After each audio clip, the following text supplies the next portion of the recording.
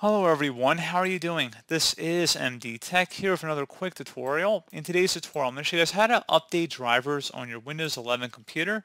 So this should be a pretty straightforward process, guys. And without further ado, let's go ahead and jump straight into it. So all you have to do is a couple different ways on how to do it actually. First thing I'd recommend doing would be to open up the Start menu and type in Windows Update. Go ahead and select Check for Updates, should be one of the best matches here and go ahead and actually check for updates and see if there are any updates available.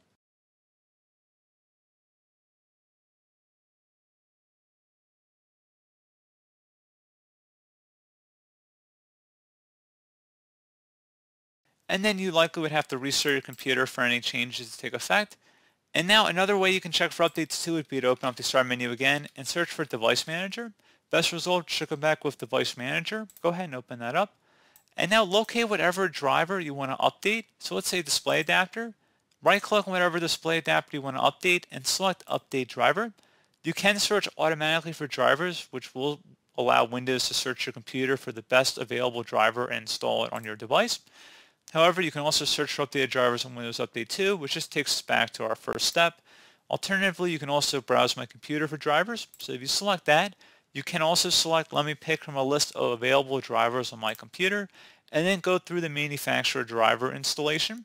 Now if you have a generic driver you can select it but generally if you have a manufacturer one I'd recommend prioritizing that one and then you'd select next. Go through the installation process and then you should restart your computer.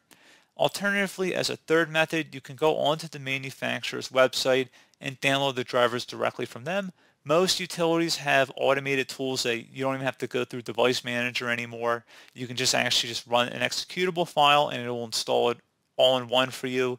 You don't actually have to go and locate the files anymore. But that's very specific for a specific driver and I don't really want to go down the rabbit hole too much with any one driver. I've already done them for display drivers like NVIDIA, AMD, Intel. You can search my channel specifically for those more personalized or individualized walkthroughs. But that's pretty much it for today's tutorial. And as always, thank you for watching this brief tutorial. Do hope that I was able to help you out, and I do look forward to catching you all in the next tutorial. Goodbye.